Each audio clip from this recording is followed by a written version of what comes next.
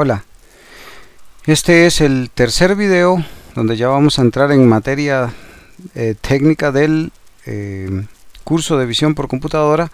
Vamos a hablar ahora de lo que es estimación de pose, que es un paso un poquito más allá de lo que vimos en el video 5 la semana pasada.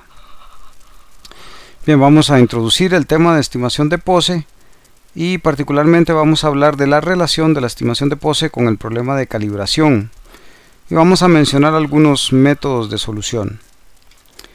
Eh, el problema de estimar, el, problema de la estimación de pose consiste en poder referenciar el sistema coordenado de algún objeto en el mundo real sobre el sistema coordenado de eh, una imagen basándonos en el conocimiento de la posición real de, puntos en el espacio con la, posición de esos puntos en la imagen.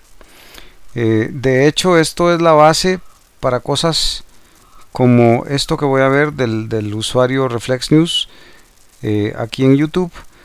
Por ejemplo, el, eh, digamos, tenemos la captura de esta imagen y sobre esta imagen pues estamos rastreando algunos puntos que pusimos el sistema coordenado del universo, por decirlo así, eh, alineado a, e, a, este plano que el usuario está moviendo.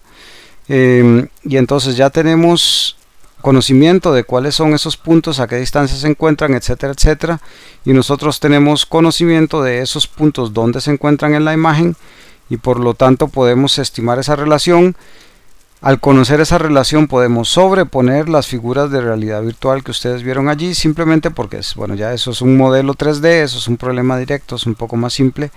Eh, entonces, conociendo el sistema coordenado real y, qué relaciona al, sistema 2D de la imagen con el sistema 3D, eh, nosotros podemos eh, plantear esas correspondencias. El problema está, por lo tanto, relacionado bastante con lo que se conoce como calibración de la cámara. La calibración tiene dos componentes. Vamos a hablar de calibración extrínseca con precisamente lo que estamos viendo aquí es cómo se relaciona eh, los sistemas coordenados del entorno con el sistema coordenado de la cámara. La, la calibración extrínseca consiste prácticamente en un problema de rotación y de traslación únicamente. Luego tenemos el problema de calibración intrínseca que trataremos un poco más la próxima semana. Eh, que es cómo relaciono yo el sistema coordenado de la cámara con el sistema coordenado de la imagen.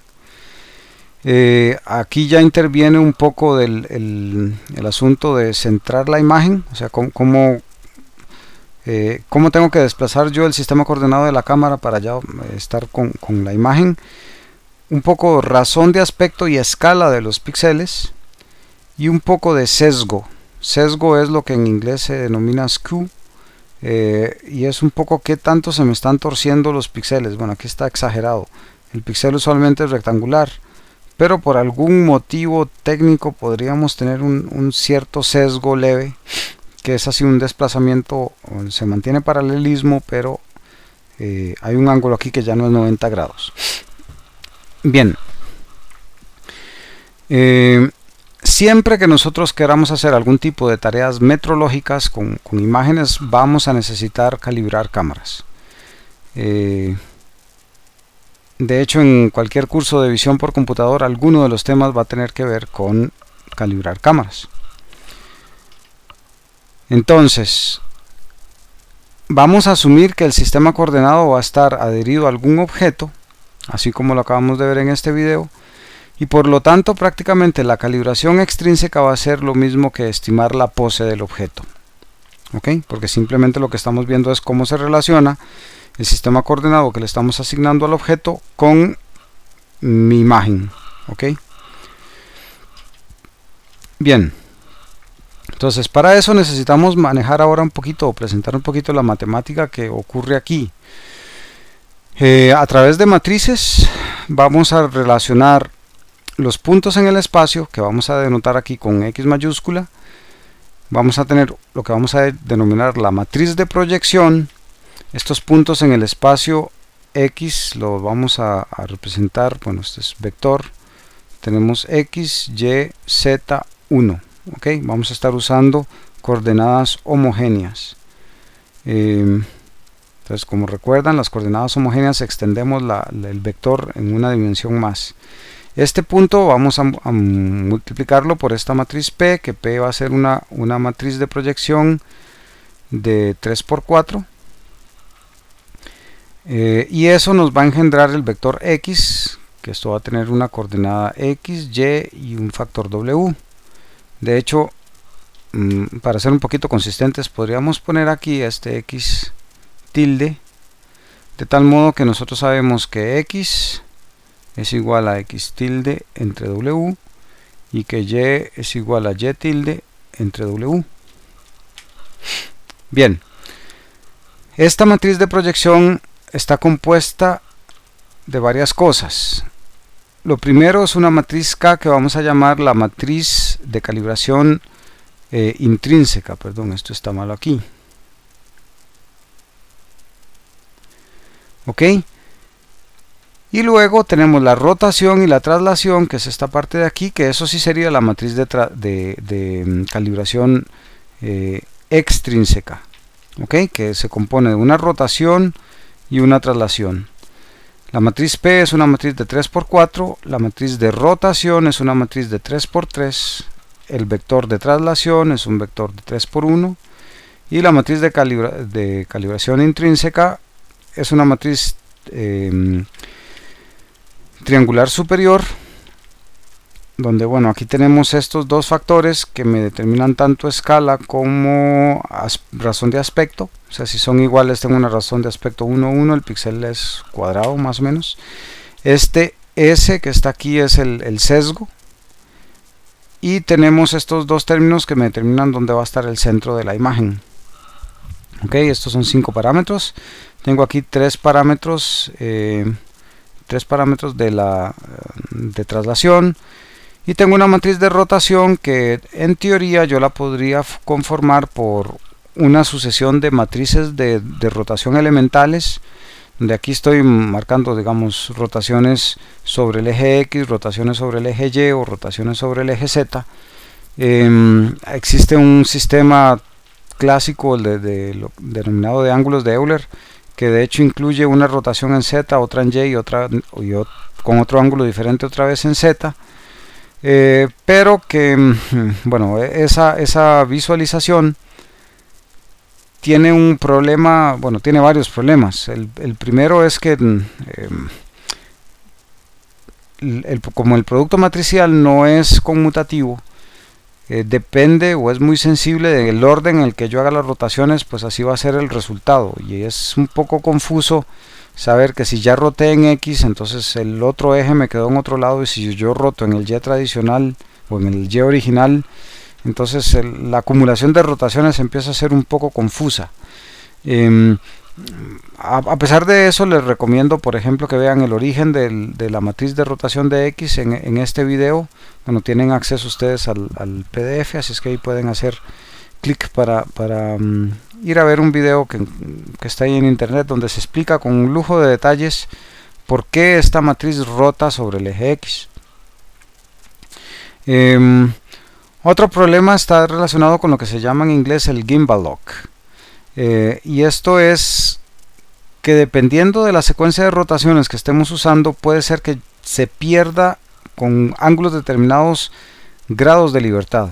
En principio yo tengo tres ángulos de rotación, pero puede ser que en, algún posicionamiento particular que llegue, eh, llegue a un punto ahí medio singular que hace que cambios pequeños en, los parámetros de rotación me produzcan cambios abruptos en, en los parámetros totales o en la rotación total. Y eso es un problema muy inestable, por lo tanto, en vez de usar eso, podemos representar mejor la, rotación en 3D a través de una sola dirección que vamos a denotar eh, a través de, sobre el eje en el que roto. O sea si aquí tengo 3D aquí X, Y, Z entonces podemos poner por aquí mi vector ok, un vector de longitud 1 que digamos que es este, entonces este sería el vector n. Y yo quiero rotar por aquí, ¿ok? Sobre, sobre el plano perpendicular a este n. O, más bien, en realidad es sobre el eje n, pero, pero imagínense el plano que por ahí está rotando, todo el espacio. Eh, y bueno, yo indico qué ángulo quiero rotar. Cuando uso eso, em, se puede demostrar, y de hecho está bastante bien en el libro de Zelinsky, de dónde se deriva la fórmula de Rodríguez. Rodríguez es un matemático, banquero y, reformador social francés, eh, bueno, de, inicios de prácticamente 1800, de la primera mitad de los 1800, ahí él eh, hizo de las suyas en matemática en varias cosas. Eh, una de las, de las propuestas, bueno, una de las cosas que él hizo es proponer cómo calcular la matriz de rotación cuando uno tiene el, el vector normal, y el, ángulo. Bueno, y eso será la matriz identidad, 3x3, el seno multiplicando a esta forma matricial del producto cruz, que esta forma matricial del producto cruz es así, o sea, es eh, cómo representar el producto cruz de n por otro vector, pues sería esta matriz por el otro vector. Eh, pues aquí la matriz de rotación se, obtiene simplemente con, con esta matriz. 1 menos el coseno del ángulo multiplicado por el cuadrado de esta matriz, o sea, es esta matriz multiplicada por sí misma.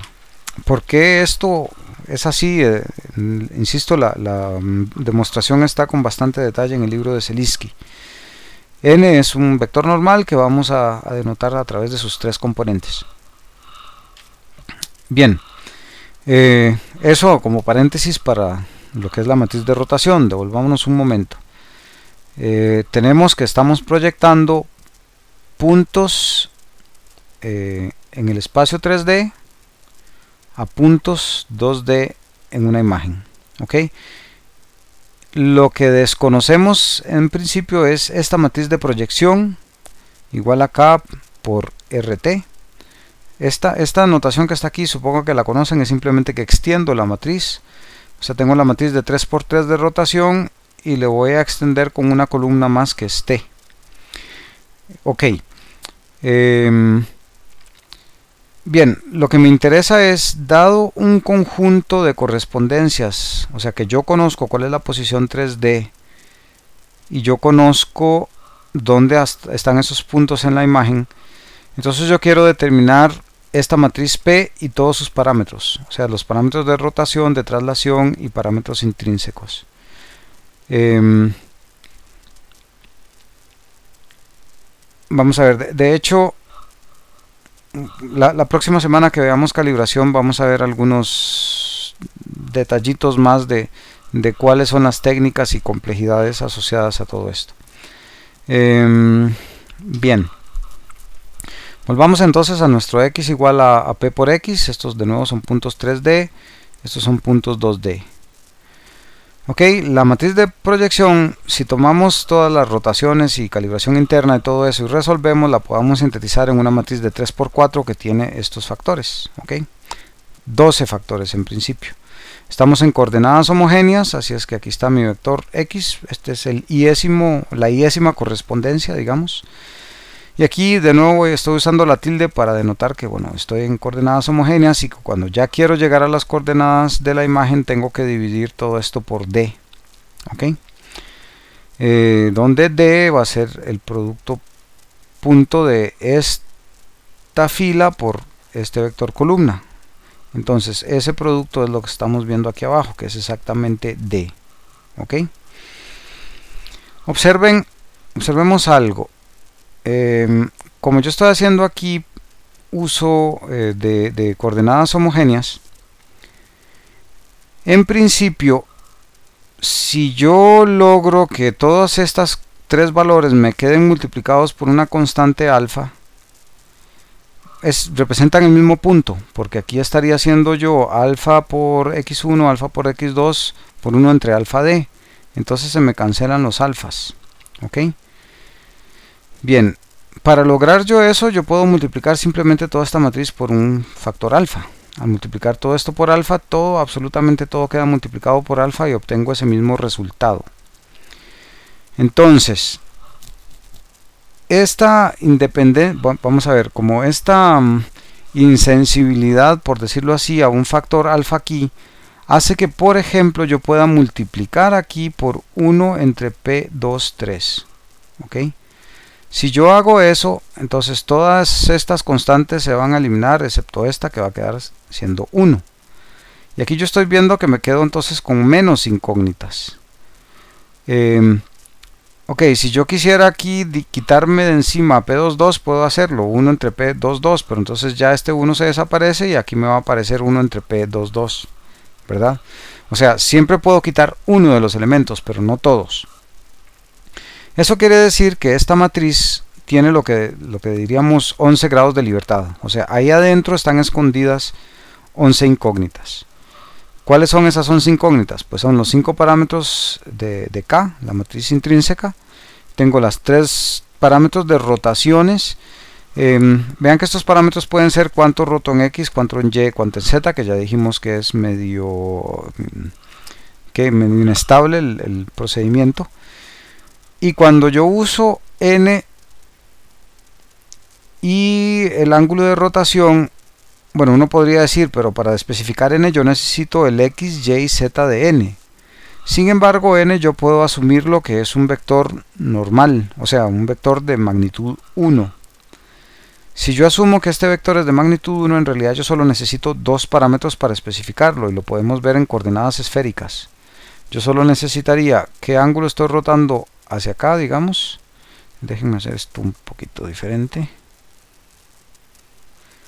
Pongamos que este es el vector entonces yo solo necesito este ángulo y necesito cuál es este otro ángulo ok si yo sé que la magnitud de n es 1 porque lo que me interesa es la dirección entonces con eso es suficiente. Y después eh, solo necesito dar el ángulo de rotación. Bueno aquí un poco mal está usando todos los lugares el mismo ángulo pero creo que me entiende la idea entonces, en principio esta rotación necesito los, ángulo, los dos ángulos en coordenadas esféricas de donde se encuentra mi vector y el ángulo de rotación efectivamente. Así es que solo tengo 3 grados de libertad para la rotación y para la traslación pues sí tengo traslación en X, en Y y en Z. Bien, entonces vean que cada par de correspondencias, este en la imagen 2D y este en el espacio 3D, para esas correspondencias, eh, cada una de ellas me va a producir dos ecuaciones. Una es que la coordenada x va a ser igual a esto y la coordenada y va a ser igual a eso. ¿Ok? Yo puedo tomar todo este denominador y pasarlo a multiplicar para acá arriba y lo mismo todo este denominador pasarlo a multiplicar allá. Entonces obtenemos estas dos ecuaciones que están aquí. Simplemente x y por el denominador igual a esta cosa. Bien, pasemos vean que este fue el valor que les dije que devolvamos un segundo aquí el P23 puedo asumir que es 1 ok en realidad puedo tomar cualquier otra constante pero bueno es más fácil asumir que estos son 1 entonces aquí vamos a tener un xy por 1 y después xy por todo esto yo lo puedo pasar a restar de este lado. Igual de este lado. Tengo y pero y por todo esto lo puedo pasar a restar de este otro lado. Ok de esa forma puedo plantear el, sistema siguiente de ecuaciones. Ok aquí tengo los parámetros. P0 p1 p2 p3 p4 etcétera etcétera. Que aquí los vemos. Aquí está p0 p01 p02 p01 multiplica aquí a x1 ok entonces aquí vemos que esto es p00 por x1 p01 por x2 eh, de las dos ecuaciones que tuvimos anteriormente sale exactamente este set de parámetros que tenemos aquí. O sea esta sale de la primera em, digamos de la componente X y esto sale de la componente Y para la primera eh, Para, para, la primera correspondencia ok esto que está aquí está saliendo para la segunda correspondencia. ¿Ok? Vean que son idénticas excepto que las coordenadas X ya estoy usando las de la segunda correspondencia. Em, y así sucesivamente, como yo tengo aquí 11 em, incógnitas, necesito al menos 11 ecuaciones. pero eh, bueno, yo tengo las correspondencias en pares XY. Así es que voy a escoger 6 correspondencias. Con 6 correspondencias voy a llegar a 12 ecuaciones para 11 incógnitas. Vean que yo podría dejar aquí al, al, al P23, que de hecho entonces este lado se pasaría, um, este, esta columna se pasaría acá, eh, restando. Pero bueno, es, más sensato saber desde el principio que solo tengo 11 grados de libertad y antes, dejar, antes de dejar una estimación de esa constante flotando por allí, mejor lo, lo cerramos de una vez, es numéricamente más estable hacerlo así. Observen que esto que tenemos aquí, esto es una matriz que podemos llamar A, este es un vector que podemos llamar P, vector de parámetros, y esto sería nuestro B. Eh, Aquí tenemos un sistema sobredeterminado. Dos ecuaciones, 11 incógnitas. Ya vimos la descomposición de valores singulares, que es la técnica adecuada para resolver este tipo de cosas de una forma estable. Entonces tenemos AX igual P, tenemos aquí la descomposición en valores singulares de A, y ya vimos que con esto calculamos la inversa. De hecho ya vimos que esto es una matriz eh, diagonal como es la inversa vamos a tener 1 entre W1, 1 entre W2, etcétera, etcétera, hasta 1 entre Wn. Em, y el punto es que aquellos valores singulares que sean 0, no vamos aquí a poner infinito ni un valor muy grande, sino que vamos a poner 0. Y con eso vamos a estar solucionando un problema de mínimos cuadrados. Eh, Bien, este método es, eficiente, pero aún así la experiencia dicta que por imprecisiones y ruido en las mediciones que tomamos, tal vez incluso un outlier y todo ese tipo de cosas, un, un punto no típico, un punto atípico, a veces tiene más sentido usar mínimos cuadrados no lineales, que ya vimos que son métodos iterativos en donde lo que vamos haciendo es que el vector de parámetros le vamos calculando cómo actualizarlo en, diferentes iteraciones. Entonces cae ese número de iteración y voy estimando eso cada vez. Y lo que ando buscando es precisamente un delta P que me minimice este, este funcional o este, este valor de energía. Que ya vimos, esto lo vimos la vez pasada, es una función que depende de los parámetros más esta cosa, eh, depende del, de los puntillos. Em, de hecho aquí para, pasarlo a esto esto debería ser una X mayúscula. Y lo que tenemos aquí es el, X medido verdad en la imagen. Y lo que queremos es eh, encontrar los parámetros que hacen que esa diferencia entre lo que yo estimo donde debería estar el, el punto 3D en la imagen y donde yo estoy midiendo la imagen eso hay que irlo minimizando Bien, usamos las técnicas que vimos la, vez pasada, simplemente se minimiza el... Se buscan los parámetros que me minimizan esa, energía y ya tengo una, eh, una matriz P. Lo que pasa es que con esa matriz P yo tengo unos parámetros, pero no sé qué significa rotación, qué corresponde a la matriz K, etcétera, etcétera. Em, bien, aquí lo que vamos a hacer es lo siguiente. Yo sé R es una matriz ortogonal, porque todas las matrices de rotación son ortogonales. Yo sé que la matriz K es una matriz triangular superior. T no lo conozco. Sin embargo, si yo tengo una matriz de 3 por 3 y la estoy multiplicando por una matriz de 3 por 4, yo puedo ver que digamos la matriz de 3 por 3 resultante, vean que esto es P, esto sería K, esto sería R y aquí tengo a T. Ok, este pedazo aquí de 3x3 de P depende única y exclusivamente de K y de R. Ok, de hecho es igual a K por R. Entonces esa submatriz P de 3x3, este pedazo va a ser igual a K por R. El otro pedazo va a ser igual a K por T. Pero entonces es muy simple, si yo logro determinar de... Em, de aquí, de esta submatriz, quién es K y quién es R, ya teniendo K, yo sé que K por T es igual a esto, esto es un sistema de ecuaciones lineales sencillo de resolver. Entonces, Eh, para encontrar quién es K y quién es R, a partir de lo que tengo aquí en P, puedo usar una herramienta de métodos numéricos que se llama la descomposición RQ, que no debe confundirse con la descomposición QR. De hecho son muy similares. Q siempre es una matriz ortogonal y R es una matriz eh, triangular. Entonces la descomposición RQ descompone la matriz como una descomposición triangular por una ortogonal y la descomposición QR al revés, una, matriz ortogonal multiplicada por una triangular. Bien, este es un método numérico que sacamos de la caja de herramientas y lo aplicamos a esto y ya tendríamos entonces quiénes son nuestras funciones. Em, estos métodos, bueno, es práctico, está más o menos cerrado en, el sentido de que usamos operaciones matemáticas de tiempo conocido, pero son numéricamente medio inestables. Eh, se considera en la literatura, de hecho se sugiere mucho preferir los métodos iterativos que son más precisos.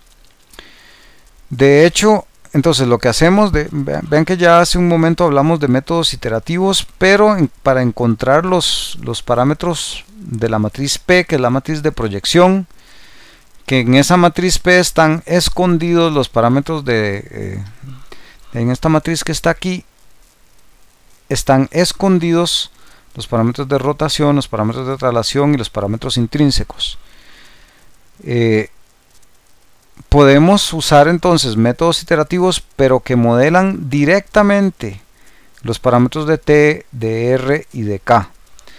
Si revisan los métodos que usamos la vez pasada, la, energía que, mm, optimizábamos usaba exactamente este funcional donde teníamos simplemente el jacobiano multiplicado por el delta de los parámetros. Pues lo hacemos pero separado, que es el jacobiano, pero solo lo que tiene que ver con rotación, solo lo que tiene que ver con traslación y solo lo que tiene que ver con los parámetros intrínsecos. Em, y esto es el residuo en la iteración K, lo vimos la vez pasada. Eh, y entonces, bueno, ese residuo que es de nuevo la diferencia entre lo que estimamos y donde en realidad está el punto en la imagen. Y eso, bueno, eso se itera hasta que, hasta que lleguemos a un error bajo.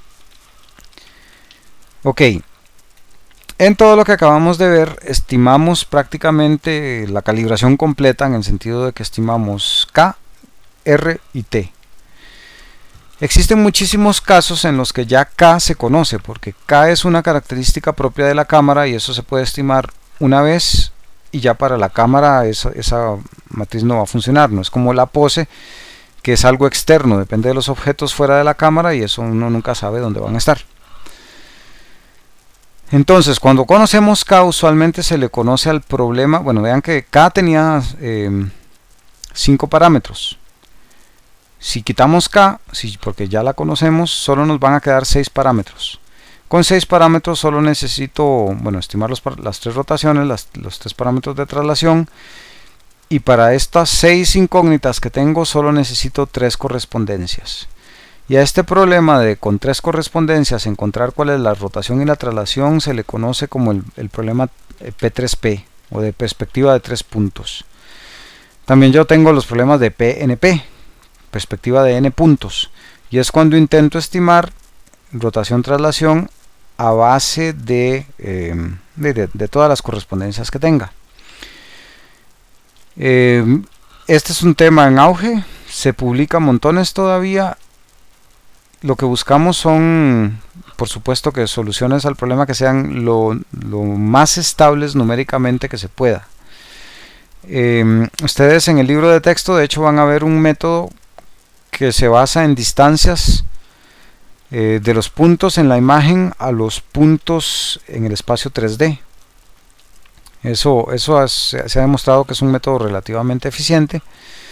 Sin embargo, de hecho en la literatura, y es posible que les ponga este, este, bueno, ustedes pueden buscar papers al respecto.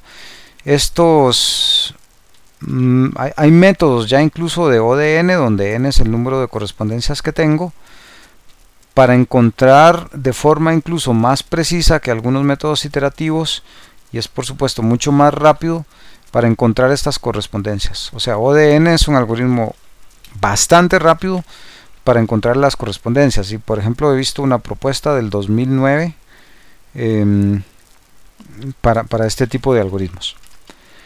Em, bien, más sobre el tema de estimación de pose, les puedo recomendar que vean los videos que tiene el profesor William Hoff. Él usa la misma estrategia nuestra de, de, de poner los videos y después discutir problemas en, en la clase. Eh, y él tiene, bueno, e, exactamente más detalles de la estimación de pose, donde él lo que usa es MATLAB para, para presentar cómo, cómo, ya resolver prácticamente este tipo de problemas. Entonces, él, él, tiene varias cosas más sobre pose, pero yo creo que los dos videos más importantes son, son estos dos. Entonces, ¿qué vimos en este video? Una introducción a la estimación de pose, ver la relación que tiene la estimación de pose con calibración extrínseca particularmente, y vimos varios métodos de solución donde de rebote podemos calcular los parámetros de calibración eh, intrínseca.